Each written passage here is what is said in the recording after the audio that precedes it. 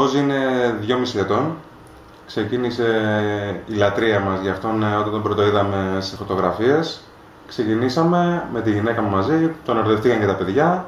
Τον έχουμε τώρα 2,5 χρόνια. Είναι πάρα πολύ προς το σκύλος παρά το προς το γάτος.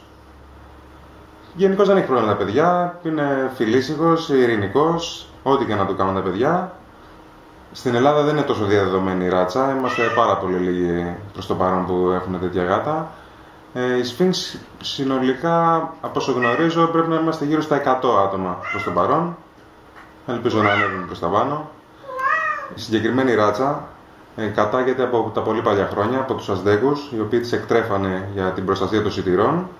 Οι πιο τελευταίες, ας το πούμε, αναφορές έρχονται από το 1830 περίπου, οι οποίες κάνουν λόγο για την άτριγη φυλή της γάτας και στο Περού γενικά συναντάται στην Κεντρική Αμερική. Ε, οι τωρινές πλέον Sphinx κατάγονται από το 1966 που έχει γίνει η πρώτη τυχαία αναπαραγωγή και από τότε συνεχίστηκε η αναπαραγωγή αυτή και έχουμε τη Sphinx που γνωρίζουμε σήμερα. Αυτό που μου κέντρισε το ενδιαφέρον ήταν η όψη του γάτου. Ήταν κάτι το περίεργο, δεν ήταν κάτι το συνηθισμένο με τη γάτα. Ε, για άλλους μπορεί να φαίνεται αποκρουστικό. Βέβαια, μόλις τη γνωρίσουν, αλλάζουν γνώμη περισσότεροι. 9 στους 10 αλλάζουν. Ε, στη συνέχεια, αφού τον πήραμε, είδαμε ότι δεν έχει καμία σχέση με γάτα κλασική, με την οτροπία της γάτας. Είναι πιο πολύ προς το σκύλο. Ε, Συνήθως οι γάτες ε, κολλάνε με το σπίτι. Μπορείς να τις αφήσεις ελεύθερες, θα ξαναγυρίσουν στο σπίτι γιατί αυτό έχουν μάθει, αυτό ξέρουν. Η συγκεκριμένη ράτσα κολλάει με το αφεντικό. Διαλέγει έναν μέσα το σπίτι σαν αφεντικό και κόλλησε με αυτόν. Όπου, να, όπου θα είναι αυτός θα βρίσκεται και ο γάτος, δεν υπάρχει περίπτωση να είναι κάπου αλλού. Τώρα, όσον αφορά μέσα στο σπίτι, η συμπεριφορά του και ήσυχος είναι, δεν κάνει ό,τι κάνει μια γάτα, δεν είναι τόσο περίεργος είναι σαν σκύλος. Και με τα παιδιά τα πάει καλά, δεν θα γυρίσει καν να σε δαγκώσει όσο και να τον πειράξεις. Όμως χάρη η μικρή μας κόρη του ταρεπορεί συνέχεια το τραβάει μέχρι την ουρά, ποτέ δεν έχει ούτε καν στραβοκοιτάξει, ας το πούμε έτσι. Ούτε έχει βγάλει ποτέ νύχη. Ε, αυτό μας κέντρισε το ενδιαφέρον και σιγά σιγά τον αγαπήσαν και τα υπόλοιπα μέλη της οικογένειας. Εγώ από την πρώτη στιγμή.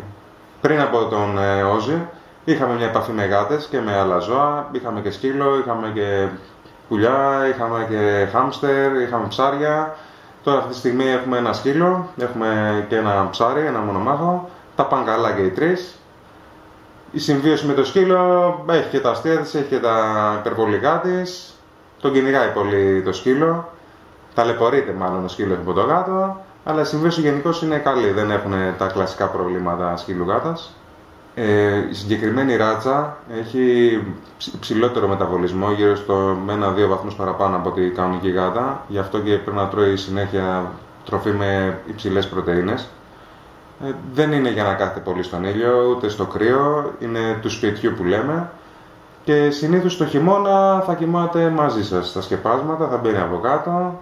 Εκεί είναι το μέρος του, μαζί με τον ιδιοκτήτη, δεν κοιτάει το σπίτι θέλει μια προσοχή, θέλει πολλές φορές ε, άλλοι βάζουν αντιλιακό στις γάτες, ε, υπάρχει συγκεκριμένη, δεν βάζουμε εμείς. Καλό θα είναι να βγαίνει που και, που και η γάτα έξω, μπορείτε σιγά σιγά με, με ένα λουράκι να βγαίνει και ο γάτος έξω. Αν κάποιος ενδιαφέρεται για τη συγκεκριμένη ράτσα, μπορεί να ψάξει μέσω ίντερνετ, θα βρει εκτροφή στην Ελλάδα, υπάρχουν δύο-τρεις, οι οποίοι είναι και αξιόλογοι. Οπότε καλή τύχη, σας εύχομαι και ότι καλύτερο να βρείτε αυτό που θέλετε.